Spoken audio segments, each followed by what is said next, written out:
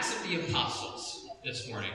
It says true sanctification comes actively through living the principles of love. And those in who Christ abides in, they reveal practical godliness. The character is purified, it's elevated, elevated, ennobled, and glorified. Pure doctrine blends with works of righteousness, and heavenly precepts will mingle with holy practice. And she calls this practical godliness. Our first song this morning is You Are Holy.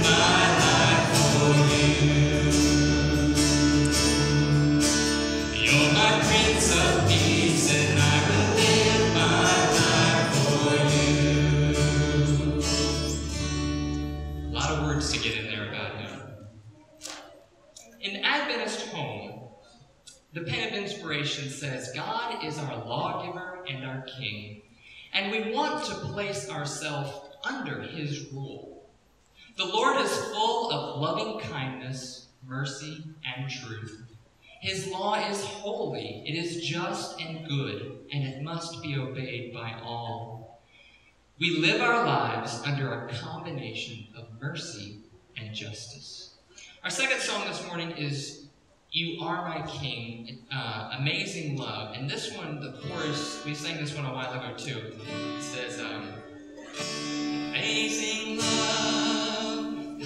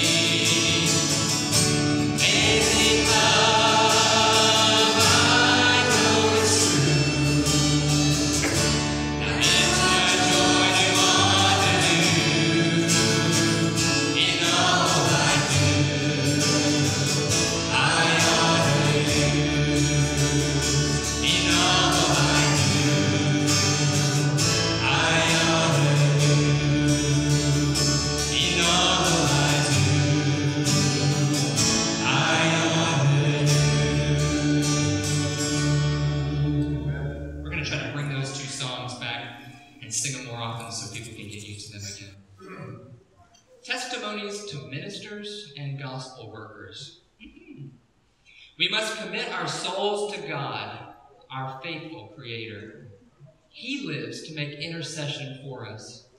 Open your heart to the bright beams of the Sun of Righteousness, and let not one breath of doubt or one word of unbelief escape your lips. There are rich blessings for each of us, and let us grasp them by faith. Have courage in the Lord. Divine strength is ours. So let us talk about courage and strength and faith. Amen.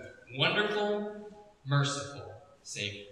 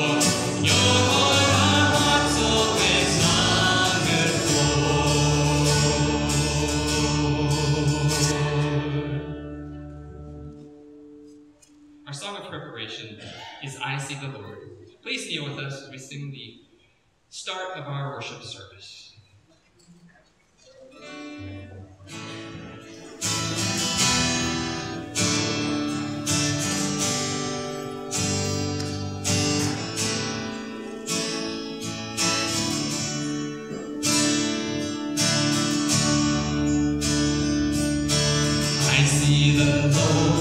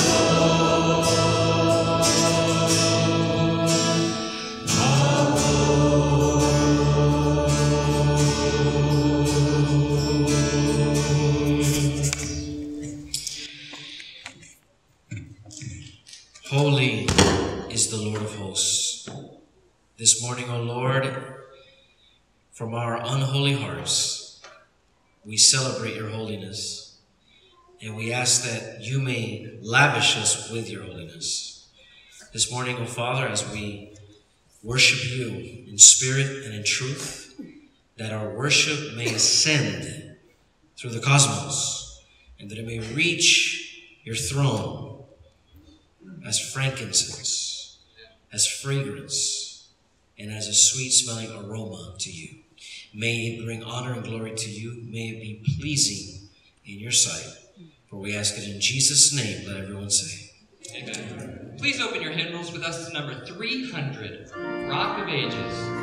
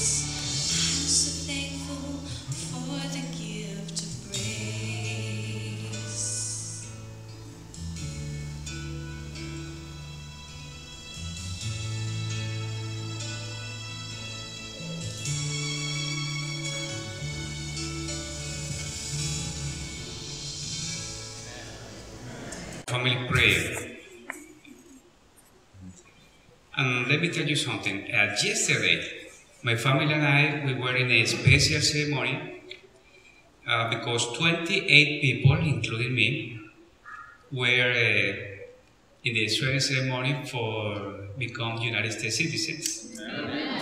Thank you.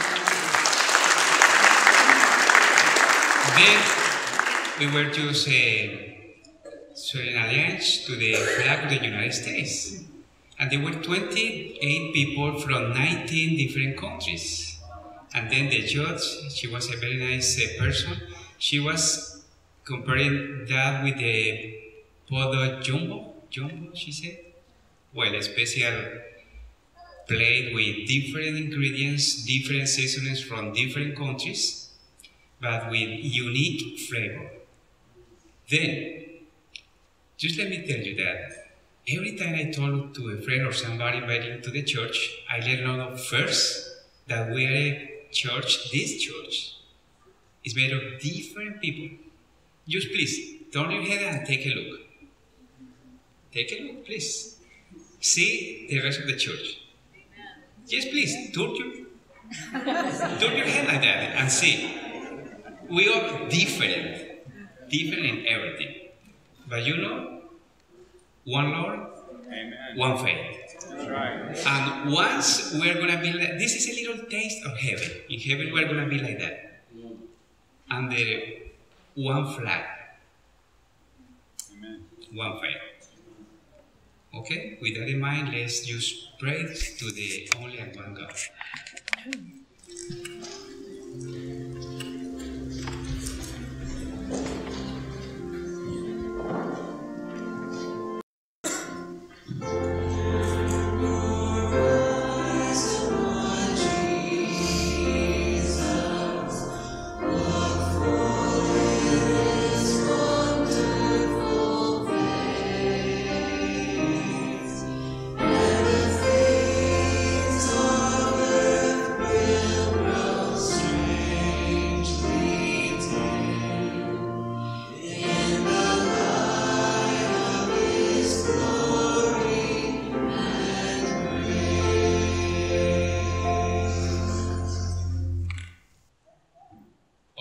Heaven. One more time, we're thankful for the way you bring us to this place. Thank you because once we were in a different place with different vision and lost forever. But you call us under your flag.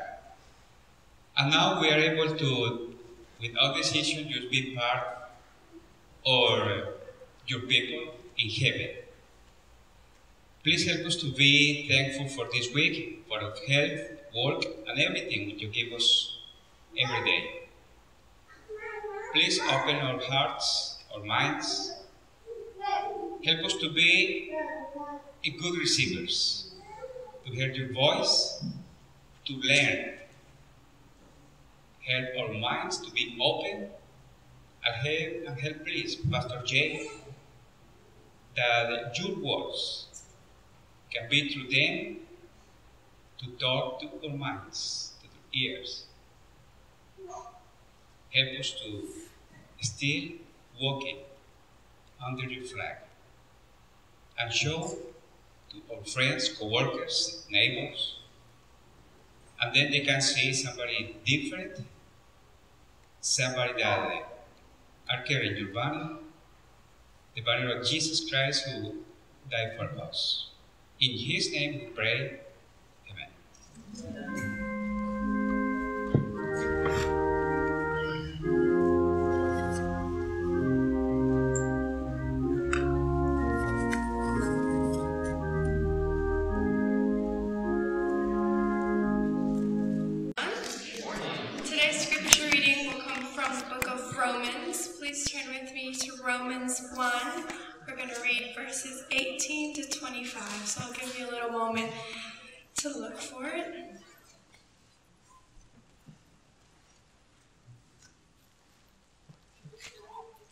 Again, Romans 1, verses 18 through 25. I'm reading New International Version.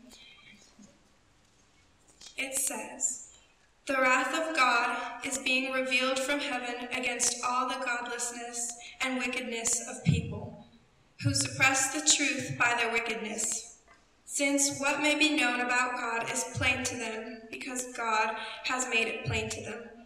For since the creation of the world, God's invisible qualities, his eternal power and divine nature, have been clearly seen, being understood from what has been made, so that people are without excuse.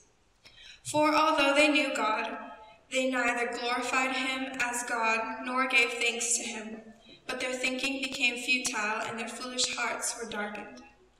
Although they claimed to be wise, they became fools and exchanged the glory of the immortal God for images made to look like a mortal human being and birds and animals and reptiles. Therefore, God gave them over in the sinful desires of their hearts to sexual impurity for the, for the degrading of their bodies with one another. They exchanged the truth about God for a lie and worshipped and served created things rather than the Creator, who is forever praised. Amen.